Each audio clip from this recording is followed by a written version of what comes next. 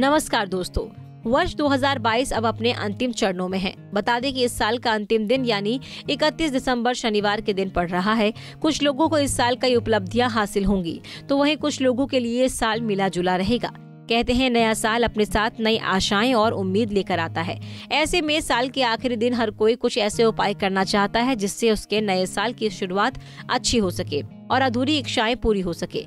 इसी के साथ बता दें कि साल के आखिरी दिन शनिवार होने के कारण भक्तों को शनिदेव की कृपा पाने और उन्हें प्रसन्न करने का ज़बरदस्त मौका मिल रहा है। साल 2023 में सभी के लिए फलदायी रहे। इसके लिए ज्योतिष शास्त्र में साल के आखिरी दिन 31 दिसंबर को करने वाले कुछ उपायों के बारे में बताया गया है।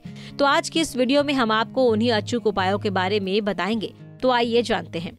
सबसे पहले आपको बता दें ज्योतिष शास्त्र के अनुसार नए साल की शुरुआत अच्छी हो और किसी भी प्रकार से साल भर व्यक्ति को किसी समस्या का सामना न करना पड़े।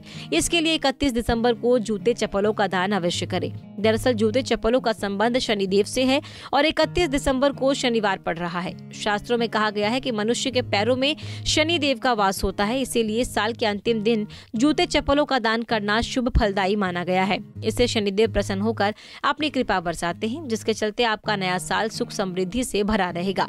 बता दें कि खास तौर पर जो लोग शनि की साढ़े साथी या ढैया से गुजर रहे उन्हें साल के आखिरी दिन शनिवार को जूते चप्पलों का दान करना ज़रूर चाहिए। ऐसा करने से व्यक्ति को शनि दोष से मुक्ति मिलती है। बता दें कि इस दिन किसी जरूरतमंद को काले, जूते, चप्पलों का दान करना शुभ रहता है।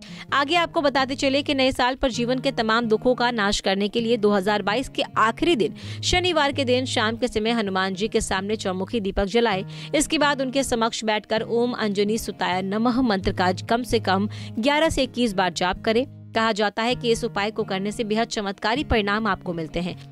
इस उपाय को करने से बजरंग बली के साथ साथ शनिदेव की कृपा भक्तों पर बरसती है और आपके जीवन में सभी दुख दर्द दूर हो जाते हैं।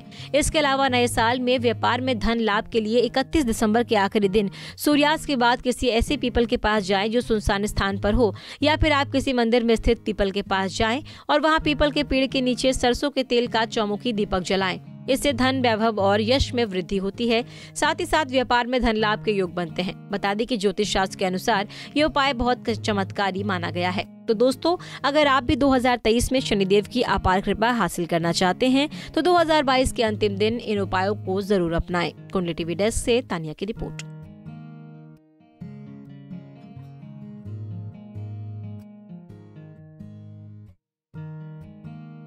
इसी तरह की और भी जानकारी लेने के लिए हमारे चैनल को सब्सक्राइब करें और नई वीडियो की नोटिफिकेशन के लिए बेल आइकॉन दबाएँ। अगर आप ये वीडियो फेसबुक पर देख रहे हैं तो वीडियो को लाइक और शेयर करें। साथ ही अपनी राय कमेंट बॉक्स में ज़रूर बताएँ। धन्यवाद।